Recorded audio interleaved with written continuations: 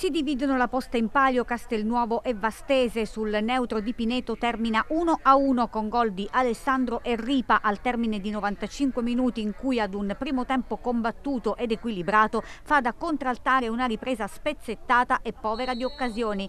In avvio di gara sono i neroverdi a farsi preferire, i vomanesi fanno la partita, la Vastese si fa pericolosa grazie alle ripartenze sfruttando la velocità e l'esperienza di Jonathan Alessandro. Primo acuto all'ottavo ottavo, pennellata di Degidio dalla bandierina, spizzata di Orlando oggi in campo dal primo minuto con Terrenzio out per infortunio e Cangemi che da distanza ravvicinata impegna la difesa bianco-rossa che si salva come può.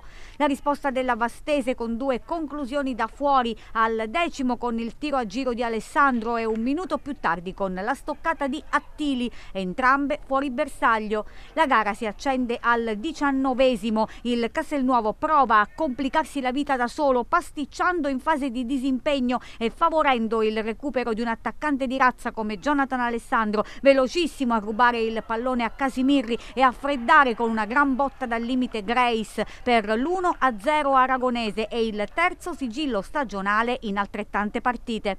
Il Castelnuovo però non ci sta e risponde colpo su colpo pareggiando i conti al 34esimo con un sinistro a incrociare perfetto di Ripa che raccoglie l'apertura di Lorenzo Emili e insacca la staffilata di prima intenzione all'angolino opposto dove Di Rienzo non può arrivare. La gara è bella ed equilibrata con le due formazioni che non si risparmiano. Al quarantesimo Cangemi si immola salvando su Panaioli anticipato in area proprio al momento della conclusione. Ottimo l'intervento del terzino neroverde.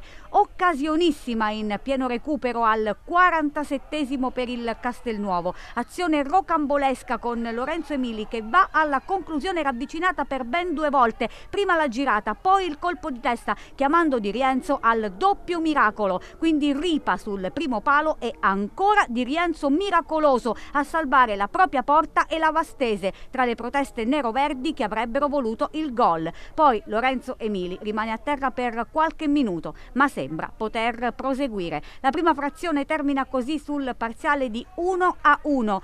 In avvio di ripresa è ancora il Castelnuovo a partire con il piglio giusto e a farsi pericoloso al terzo minuto. San Severino dalla sinistra sventaglia dalla parte opposta per Petronelli. La conclusione che chiama ancora una volta in causa un ottimo di Rienzo. Poi Ripa termina in posizione di fuorigioco. La risposta della Vastese si fa attendere solo qualche minuto ed arriva puntuale all'ottavo in contropiede con il solito Alessandro che carica il destro ma stavolta imprecisa la sventagliata termina fuori.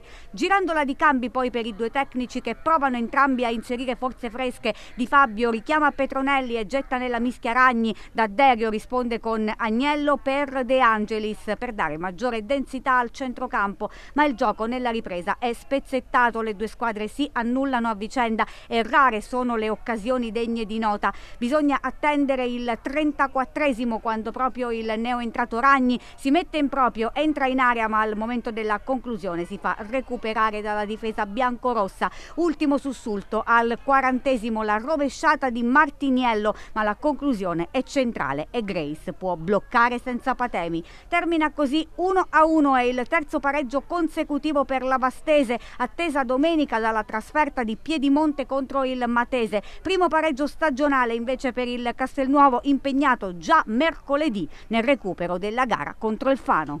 Eh, peccato perché dai, abbiamo regalato il primo gol, eh, altrimenti non, non, mi risulta di vedere altre occasioni da parte della Vastese se non il gol che abbiamo regalato noi. Eh, siamo stati bravi poi a recuperare la partita alla fine del primo tempo abbiamo avuto un paio di occasioni per, clamorose per, per, passare in vantaggio. Non ci siamo riusciti e nel secondo tempo ci abbiamo provato per tutta la gara, però è venuta fuori anche un po' di stanchezza.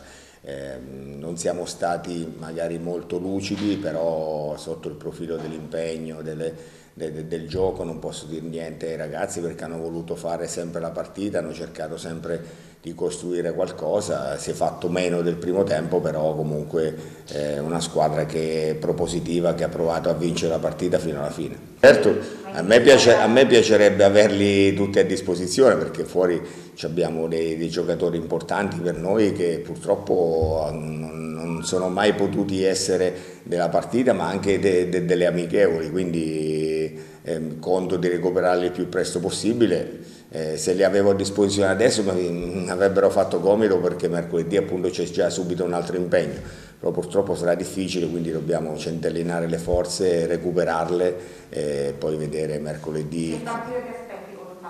È partita, un'altra partita tosta, a parte che qua questo è un campionato molto equilibrato, le partite sono tutte, tutte toste, Fano oggi mi sembra che abbia vinto, quindi eh, è una squadra che l'anno scorso faceva una categoria superiore, quindi eh, sappiamo che, che, è una squadra forte, ma ci prepareremo in questi due giorni, come abbiamo fatto già precedentemente, per cercare di, di, di batterli, poi vediamo se siamo bravi a riuscirci.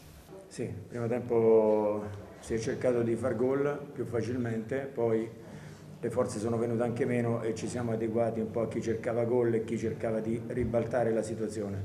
È un po' questo il succo del discorso. Per quanto riguarda i pareggi, i pareggi non è altro che eh, la successione poi di, degli episodi che vanno dentro o meno eh, e quindi poteva essere anche diversa la partita e non perché volevamo fare il pareggio. Noi abbiamo fatto tre partite fuori casa, compresa quella interna, e quindi certamente valutiamo tutte le cose. Abbiamo segnato sempre e valutiamo anche questo.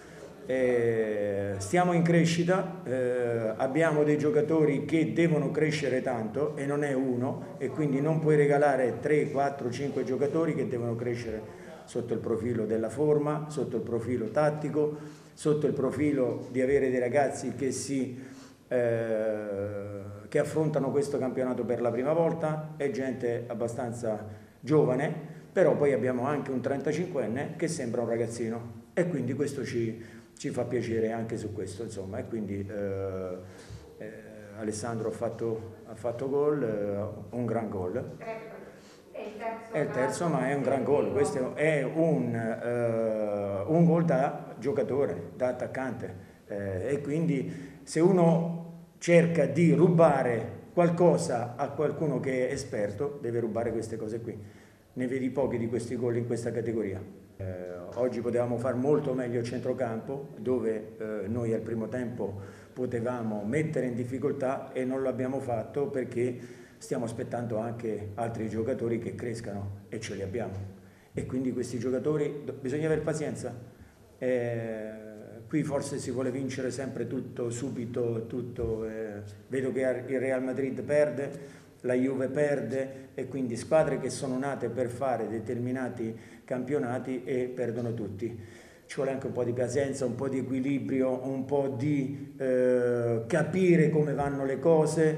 Io mi arrabbio per quello che è eh, il mio compito e di vedere gente che va in campo e cerca di portare a casa un risultato. Oggi eh, ho visto anche questo, però bisogna crescere in fretta.